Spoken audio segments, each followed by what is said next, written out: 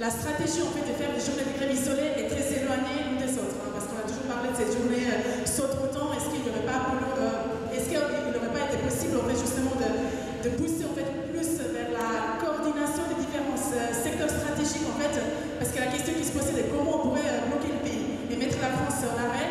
Et au final, quand on voit, bah, c'est pas seulement avec le secteur d'enseignement ou de la RATP SSF qu'on arrête. On a vu quand même des camarades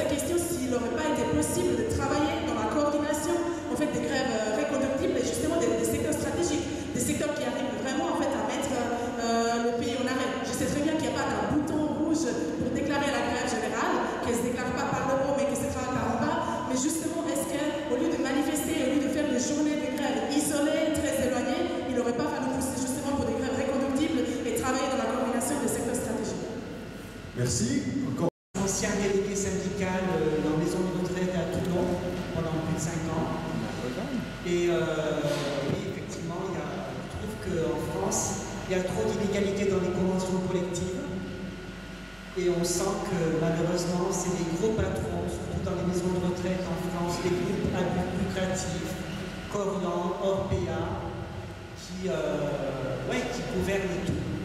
Et au, profit des, surtout des salariés, des personnes âgées, et euh, aucun 13e salaire, aucune valorisation, 13 toilettes, alors qu'ici j'en passe à 5.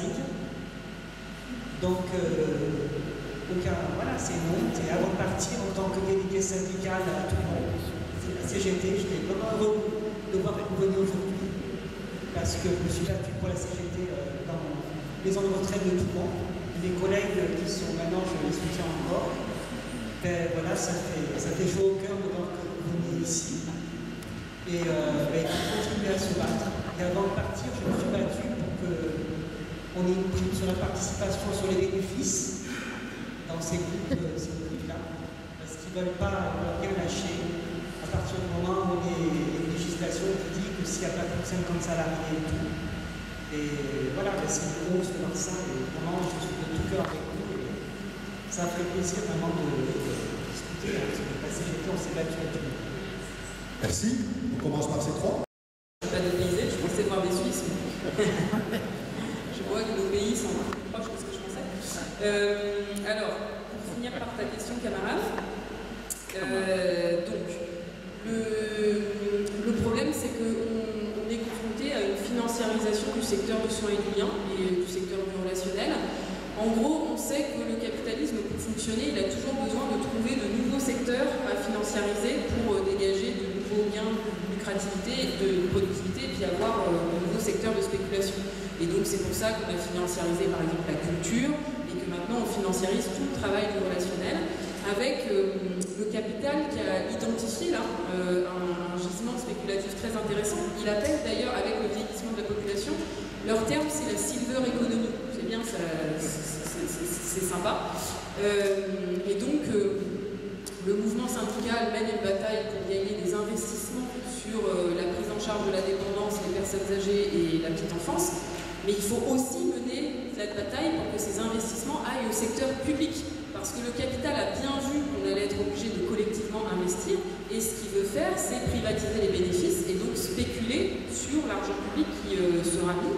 Donc on a eu en France le scandale Orpea, et là on a un nouveau scandale sur la petite enfance, parce que c'est exactement la même chose qui se passe sur la petite enfance, on le savait bien sûr.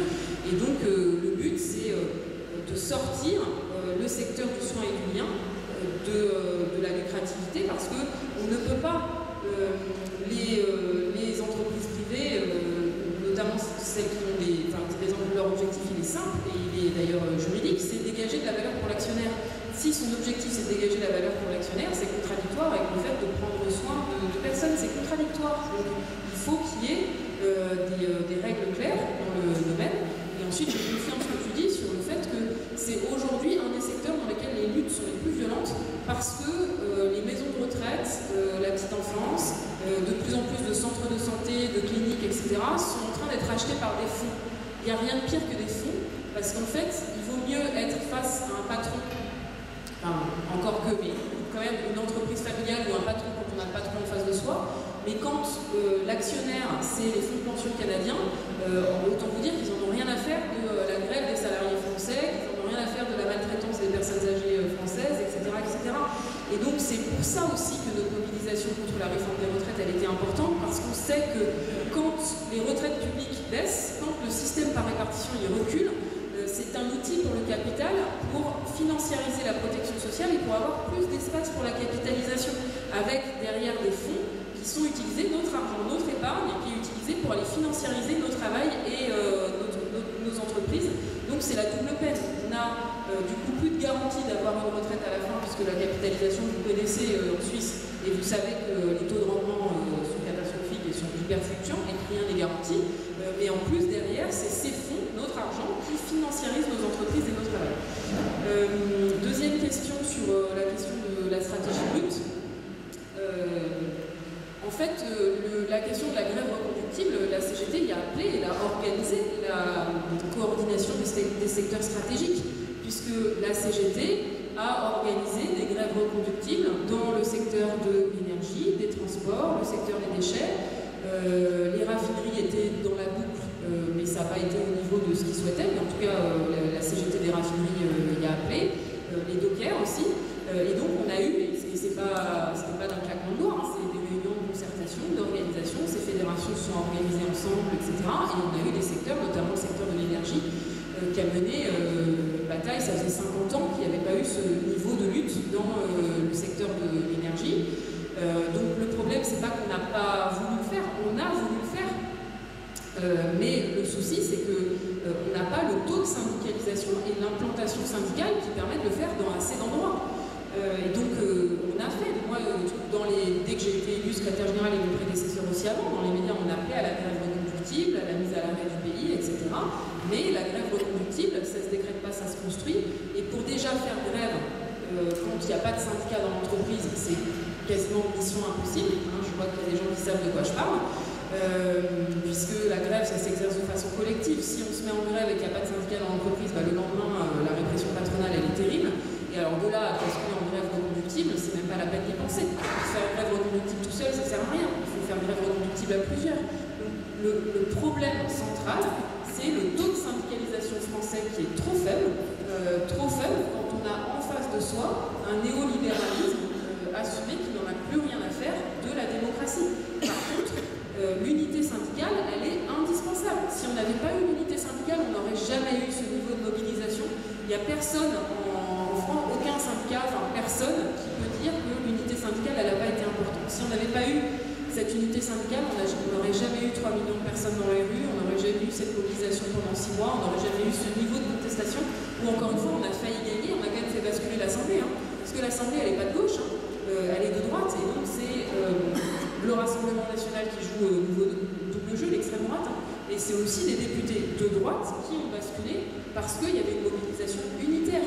l'unité syndicale, c'est très important, c'est pas suffisant, mais c'est indispensable pour construire un mouvement, et l'unité syndicale ne nous a pas du tout empêché, nous, la CGT, euh, d'appeler à la grève reconductible entre euh, les journées d'action pour amplifier le rapport de force, parce qu'effectivement, la CGT était très consciente du fait qu'avoir juste des journées d'action, vu le niveau de radicalisation du pouvoir, ça ne suffisait pas. Mais le problème, c'est qu'en l'état de nos forces, ça n'était pas possible euh, d'aller plus loin. La CGT RATP, elle a appelé à la grève, la CGT Raffinerie, elle a appelé à la grève, la CGT de l'énergie, elle a appelé à la grève, etc. etc. Et ensuite, après, moi, j'interpelle quand même sur euh, attention à la grève par procuration. Les travailleuses et travailleurs de ces secteurs sont les premiers à dire nous, on veut bien faire grève, mais on ne va pas faire grève tout seul. Il faut arrêter de se reposer uniquement sur nous pour penser avoir un rapport de force pour gagner. C'est d'ailleurs aussi ça qui fait que les raffineurs ne sont pas partis en grève de façon aussi importante parce qu'ils bah, ne voulaient pas partir tout seuls. Euh, et donc, euh, c'est pour ça que la question, c'est vraiment le taux de syndicalisation et l'implantation syndicale. voilà, enfin sur la question des JO, bon, la première chose, c'est que nous, dans la mobilisation sur les retraites, on n'allait pas partir sur le boycott des JO qui est un an après, parce que la mobilisation sur les retraites, elle était là. voilà. ensuite, les Jeux Olympiques, c'est très populaire. c'est alors avant, on peut critiquer, etc. Mais quand même, regardez le mondial de foot à Dubaï. Moi, je veux bien savoir qui dans la salle aime le foot et au final n'a pas regardé le foot parce que c'était à Dubaï avec un scandale complet sur les droits humains et les droits sociaux. Tout le monde, c'est bien. Moi non plus, mais j'aime pas le foot, donc ça m'a pas dérangé. mais moi, je connais assez peu de gens qui aiment le foot qui au final ont tenu et surtout en France où on, tombe en finale, donc forcément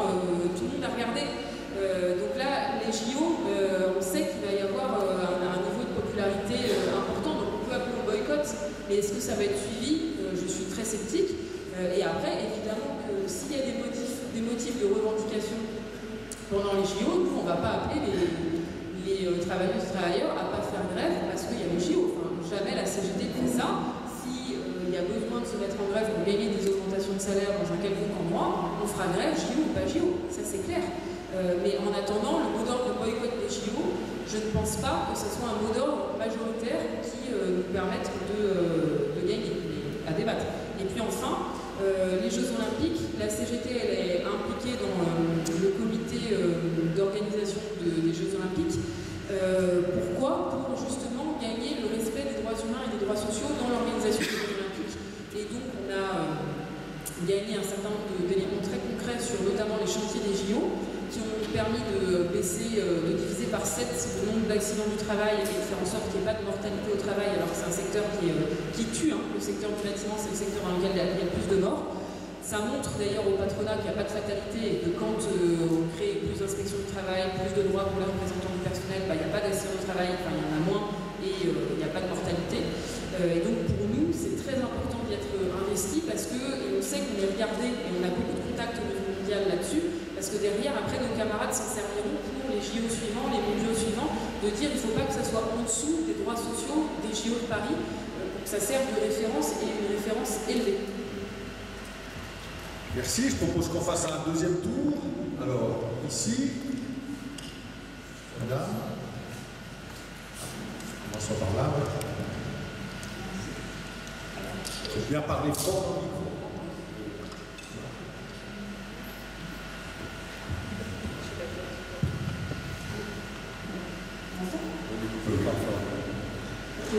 Alors, bonsoir camarades. D'abord, j'ai envie de dire merci pour ce, appeler ça la conférence euh, exposée, je dire, des choses, mais en tout cas, c'était totalement brillant. Et c'est vrai que si je n'étais pas à la retraite depuis 7 ans, je courrais me syndiquer. Mais malheureusement, c'est plus tellement. On, on syndique les retraités, hein, pas de souci. Je prends tout le monde. J'irai voir, j'irai voir. Alors j'avais juste envie de poser la question suivante. Euh, moi j'ai été euh, très sensible au fait que j'ai vécu 10 ans en Afrique quand j'y suis née, il y a des années. Puis ensuite 10 ans en Espagne, Espagne franquiste. Donc j'ai fait mes études là-bas et au moment où je suis arrivée à l'université, c'est clair qu'on a vu ce que ça voulait dire que d'être sous un régime gens être embarqués euh, à la porte de l'université au bout d'un tract et on avait l'interdiction de se laisser pour ramasser un tract qui pouvait être de l'opposition. Tout ce que je veux dire par là, c'est que je me pose la question de savoir à quel moment on discute un dialogue avec les jeunes générations, c'est-à-dire les enfants, dans les écoles, pour pouvoir préparer une réflexion politique. Moi, j'ai un de mes fils, 43 ans, enseignant ici à Lausanne. Chaque fois qu'il y a des votations, ils reçoivent un petit billet qui euh, leur explique qu'il est exclu et interdit de discuter des votations qu'il va y avoir euh, prochainement. Je trouve ça très très grave d'être dans une démocratie à l'école on interdit ce genre de choses. Alors, qu'en est-il en France? Alors, merci. Autre question, madame? Et, et, restez, restez bien, bien bref, parce que comme ça tout le monde pourra poser sa question. Oui, euh, Séverine Graff, je suis du Parti Socialiste de Lausanne. D'abord, merci beaucoup, ça, fait ça donne toujours beaucoup de force, d'énergie de voir une femme à la tête de la CGP. Je tenais à le dire. Euh, en Suisse, on a une grande proximité historique entre les partis euh, de gauche et euh, les différents syndicats proximité qu'incarne pas mal votre voisin de gauche. Je voulais vous entendre sur la situation en France et puis d'après vous, est-ce qu'il faudrait que ces liens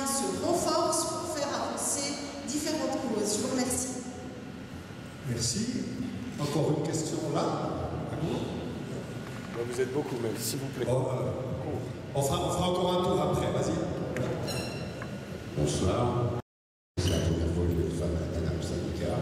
Et je pense que mon, mon grand-père, ma mère, surtout, est très heureux de ça, qui est à Marseille. Euh, 30 ans de Suisse. Moi, ce que je vois du syndicalisme, euh, de ce que je vis en Suisse, et de ce que j'ai pu vivre dans mes autres années en France, c'est que le syndicalisme en France, a quand même perdu énormément de pouvoir auprès des ouvriers et des ouvrières. Ce qui n'est pas le cas chez nous, tu es d'accord avec moi. Vous savez qu'on est, on rentre dans une entreprise, on rentre dans une on syndique parce qu'on sait que c'est notre sécurité notre façon de pouvoir mieux défendre les ouvriers, les ouvrières, pas en tant que délégués, mais ouvriers, pas professionnels. Et je pense que ce qui a fait du mal au syndicalisme en France, c'est quand l'État a décidé de sortir de, des entreprises et de faire une élection et que ce soit officiellement. Vous voyez ce que je veux dire Ça veut dire qu'à l'époque, le syndicalisme, c'était comme en Suisse. Vous savez que les entrepreneurs, les ouvriers étaient dans les entreprises, étaient là. Et après, l'État a créé un système d'étatisation du syndicalisme. À ma vision, vous savez que quand vous êtes élu, vous êtes dans vos bureaux, vous êtes peut-être moins proche des ouvriers. Tu comprends ce que je veux dire C'est ça. Mon grand-père avait pas Comment faire Et peut-être est-ce qu'on pourrait sortir Merci. Sortir de ça. C'est ça qui fait que le syndicalisme. et que euh, les enseignants ont la capacité d'avoir euh, des débats citoyens assez larges dès lors qu'ils ne font pas de prosélytisme ou de propagande pour un parti ou pour un syndicat. Mais quelque part, c'est moins verrouillé aussi parce que l'enjeu démocratique est plus faible, puisqu'on ne peut jamais voter en fait, puisqu'on ne nous demande jamais notre avis. Donc euh, derrière, oui, on a le droit de débattre, mais ça n'a d'impact sur rien. Donc voilà. ensuite, deuxième question sur le rapport aux politiques. Bon, il faudrait qu'on en reparle pendant trois heures, parce que ça c'est quand même un vaste sujet. Euh, donc d'abord, ce qui est très important toujours de rappeler, c'est qu'on a des cultures syndicales très différentes en Europe et qu'il ne faut surtout pas penser calquer un modèle sur un autre. Euh, en France, on a une culture syndicale euh, particulière avec un mélange de, plusieurs mouvements syndicaux, notamment l'anarcho-syndicalisme qui a joué un rôle important dans le syndicalisme français. et pour nous, l'indépendance syndicale, elle est plus marquée en France notamment, on n'a pas la culture social-démocrate euh, qui peut exister euh, en Allemagne ou en, Angleterre. Euh, alors, ce qui est rigolo, c'est qu'en Angleterre, c'est la courroie de transmission à l'envers. Vous savez, c'est les trade unions qui dirigent quasiment le parti travailliste, puisqu'ils sont automatiquement adhérents et donc, en fait, ils pèsent très lourd dans, les congrès.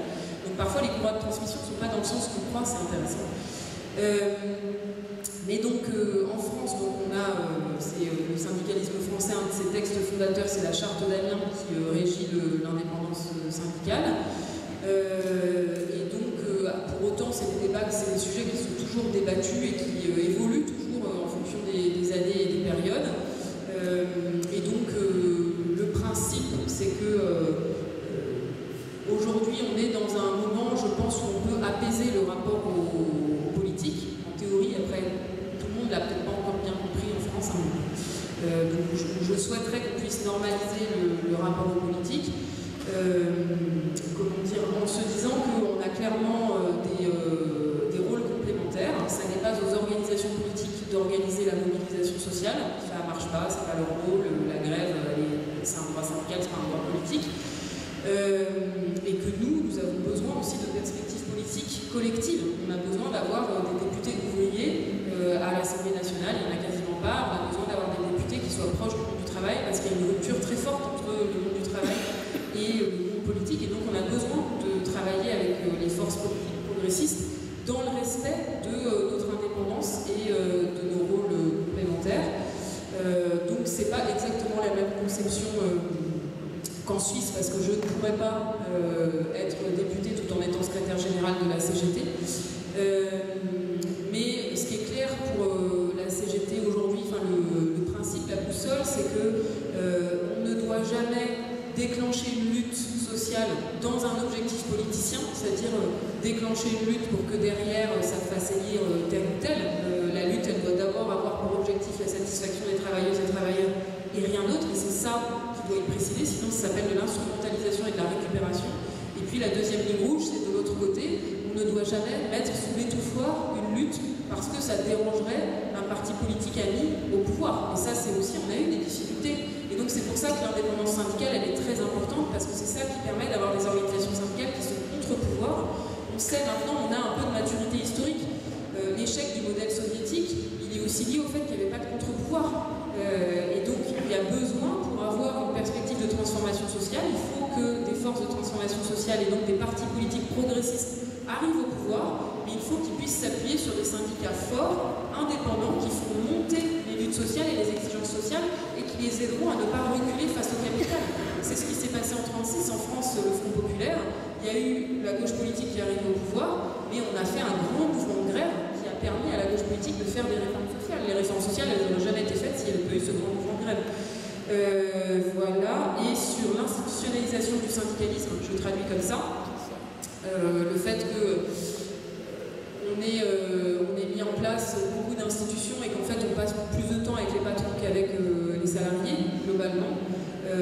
oui, c'est un, un, problème, et donc nous, à la CGT, on est très conscient de ça, et donc il faut avoir des stratégies par rapport à ça pour faire en sorte que quand on va dans des réunions face au patron, il y ait toujours pour force porter les revendications des salariés et qu'on en fasse des moments au service de la lutte euh, et pas euh, dans l'autre sens où on s'infuse des cultures patronales et puis on oublie un peu euh, ce pourquoi on est là.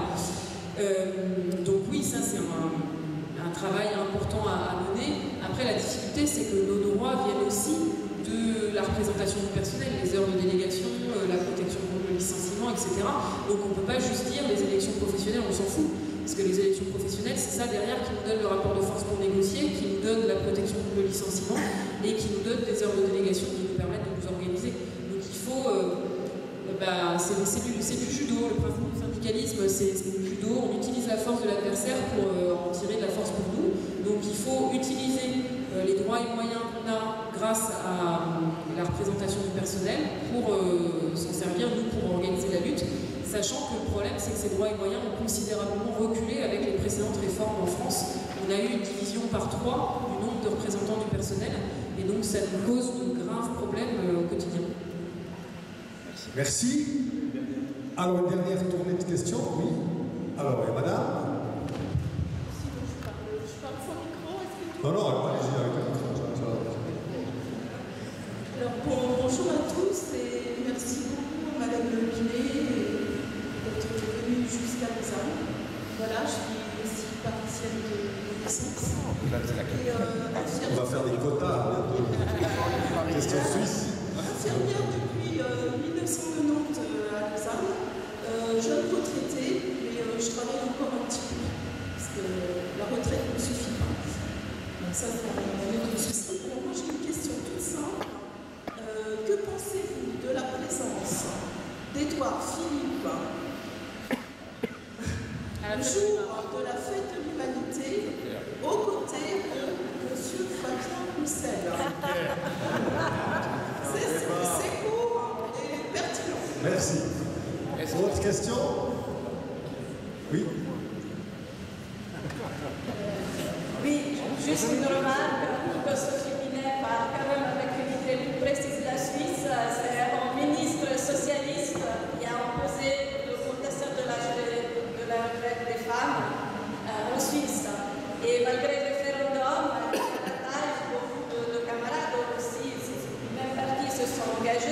Eh, malgré le référendum, on a perdu et ça nous reste en fait à la gorge. Eh, et juste le référendum, c'est un outil précieux, mais en Suisse, il faut bien savoir que 30% des salariés sont exclus du droit de vote. Et comme par hasard, ces salariés sont ceux qui travaillent et celles, surtout qui travaillent dans les secteurs les plus précarisés et qui ne pourront pas souffrir une retraite anticipée. Donc ça, il faut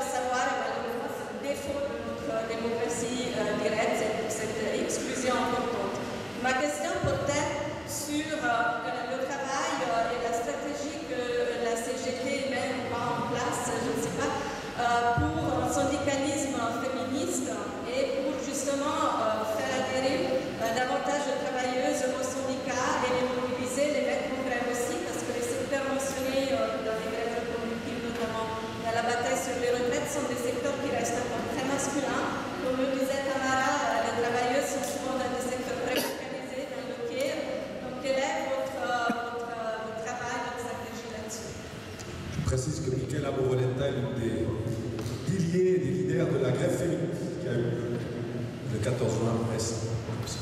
Parce que ça, c'est l'une des, raisons pour laquelle Sophie a, dit qu'elle admirait le mouvement ouvrier suisse, c'était la grève féministe du 14 juin. C'est pour ça que je précise ton rôle dans ce mouvement.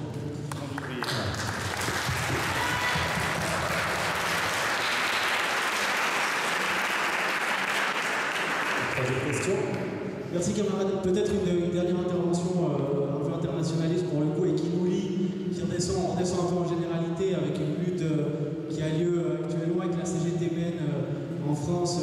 alors on est tous concernés, concernés sur le canton de Vaud, on parle des usines Vitel de Nestlé.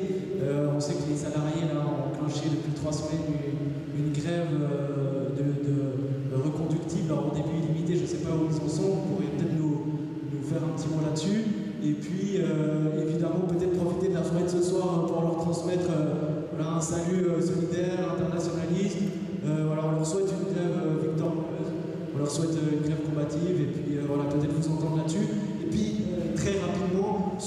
question, parce qu'on sait évidemment, les usines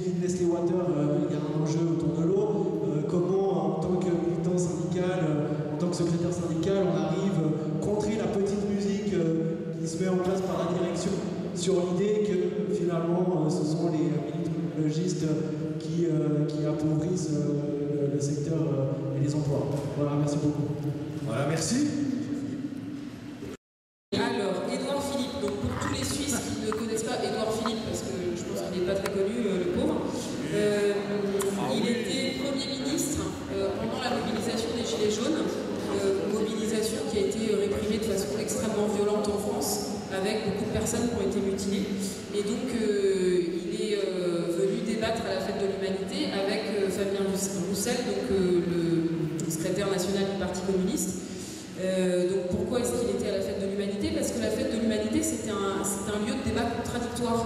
Et donc moi-même, je devais, sauf qu'il s'est déminé, visiblement il a eu peur de la CGT, mais j'avais invité le patron des patrons à venir débattre à la fête de l'humain avec moi c'est le principe en fait. Euh, Édouard Philippe, euh, voilà, on l'a combattu, on a combattu sa politique, mais en attendant, la fête de l'UMA, c'est aussi un grand moment de débat contradictoire, euh, et c'est ça qui fait l'intérêt, parce que c'est bien de débattre entre nous, mais le débat contradictoire, ça fait quand même vachement progresser intellectuellement, parce que ça permet de mieux comprendre les arguments de son adversaire et d'être plus crédible pour les contrer.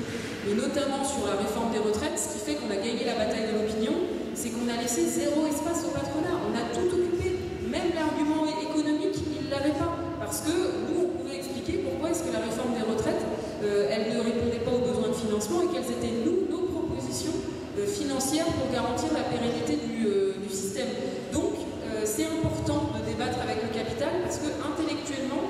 Force à progresser et être toujours meilleur dans nos arguments. Deuxième question sur le syndicalisme féministe, bah, en fait j'avais envie de te renvoyer la question parce que effectivement nous en France on est beaucoup moins bons que vous en Suisse. Et donc euh, euh, avant d'être secrétaire général de la CGT j'étais en charge de l'activité féministe de la CGT et euh, j'ai invité à plusieurs reprises les camarades d'UNIA à venir en France dans nos, événements pour raconter la grande grève des femmes que vous avez construite parce que nous on a essayé mais on n'y arrive pas euh, parce que ça fait 5 euh, ou 6 ans que le 8 mars on appelle à la grève féministe et donc euh, on a des petites choses mais pas vraiment de grévistes à un niveau satisfaisant. alors pourquoi? Bah, C'est pas évident, mais aussi parce que la CGT en fait ces secteurs d'implantation historique c'est les secteurs masculins, tu l'as dit, et que dans les secteurs féminisés on a des taux de syndicalisation plus faibles et plutôt pas CGT, c'est plutôt la CFDT qui est implanté dans le secteur du tertiaire, les FO, qui sont plus implantés chez les employés, et la CGT qui est plus implantée chez les ouvriers. Euh, et que la CGT, euh, la CFDT et FO n'ont jamais appelé à la grève féministe et n'ont jamais appelé à la grève le 8 mars.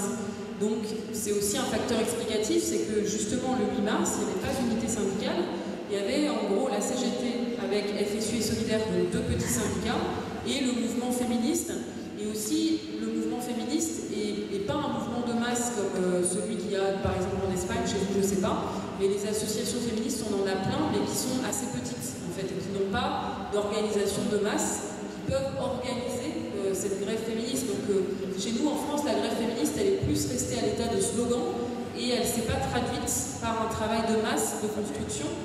Pour avoir échangé avec les camarades espagnols, et je pense que vous c'est pareil, la grève féministe, vous l'avez gagné à la sueur du front, et ça a été, je pense, un an de construction et de travail de masse dans toutes les boîtes, auprès des femmes, massivement, etc., etc.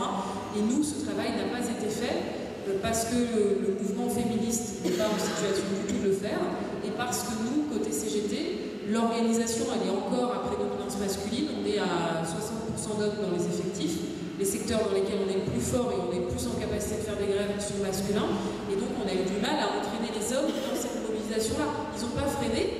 pas empêché, ils étaient contents, etc., mais bah, pas, enfin, quelque part, euh, pas dire grève féministe, dire c'est aussi aux hommes de mener le travail. Donc, euh, voilà.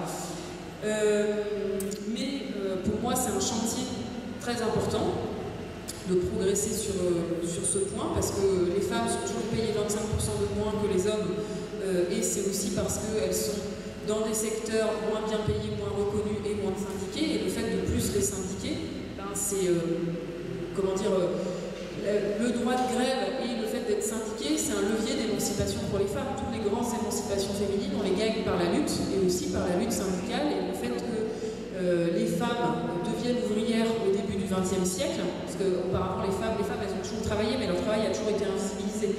Avant euh, la fin du XIXe siècle, les femmes elles travaillaient à la maison, euh, dans des travaux de couture, dans, comme domestique, etc. Et elles, n'avaient pas de grande concentration ouvrière finalement l'accès au travail ouvrier pour les femmes, avec euh, une situation d'exploitation horrible, hyper violente, mais ça a été un vecteur d'émancipation, parce que c'était du collectif et l'accès au droit de grève. Et donc à partir du début du XXe siècle, il y a eu de grandes grèves de femmes, et qui a mais conjointement avec les batailles d'émancipation et puis la, bataille pour droit de vote, etc. Donc évidemment, le mouvement syndical il a un rôle très important à jouer. Et la grève, c'est un levier. Et euh, sur la question de Vitel, eh ben, je n'ai pas suivi cette lutte, mais donc euh, tout mon soutien aux camarades. Et sur la stigmatisation des militants euh, écologistes, oui, c'est. En France, on, les appelle des écoterroristes, donc ça fait partie des arguments. Alors, pour la petite histoire, je ne l'ai pas encore rendu public et je vais lui répondre prochainement. je dois aller pour les élections professionnelles à Airbus à Toulouse. Et en fait, je viens de recevoir une lettre du patron qui m'interdit de rentrer dans l'usine d'Airbus, soi-disant au nom des positions, de mes positions notoirement anti-aéronautiques. En plus, j'ai pas particulièrement critiqué l'aéronautique, mais c'est hyper grave, parce qu'en fait, ça veut dire qu'on n'a plus le droit de critiquer, d'interroger la finalité euh, des entreprises. Et donc, en fait, avec ce même argument, on pourrait rentrer dans toutes les multinationales françaises. Euh, parce que la, CGT, évidemment, qu'elle s'arroge le droit de critiquer euh, toute l'activité de toutes les entreprises euh, françaises. C'est très très grave d'un point de vue démocratique et j'ai des menaces dans ce courrier où on me dit que si je veux changer de position, je peux aller discuter avec les patrons à Paris, mais par contre aller à Toulouse, où il y a au moins 5000 salariés à, Toulouse, ça, ça, créerait des troubles à l'ordre public parce que finalement, je serais confrontée à des émeutes de salariés. Je veux y aller. Voilà, peut-être organiser émeutes patronales, ça serait plutôt ça. Mais bon, donc euh, on est effectivement dans ce contexte-là, euh, et ça montre bien combien, en fait, l'enjeu environnemental, euh, c'est un enjeu pour le capital, et, combien. C'est pas pour rien que les mobilisations écolo, elles sont aujourd'hui réprimées de façon extrêmement violente. On a eu la mobilisation contre les méga-bassines dans les Deux-Sèvres, dans, l'ouest de la France, qui a été, enfin c'est hallucinant le déluge de violence qui s'est accumulé contre ces manifestations, parce que euh, face la FNSEA, et la FNSEA c'est le pouvoir de l'argent, et derrière le capital a un objectif d'avoir le monopole de l'eau, etc. Donc euh, vraiment, ces enjeux environnementaux, il faut que le mouvement ouvrier s'en préoccupe, parce que le capital, lui, il s'en préoccupe, hein, ça c'est clair. Et donc on a là en face de nous une stratégie d'accaparement des ressources naturelles de façon extrêmement déterminée. Merci beaucoup Sophie.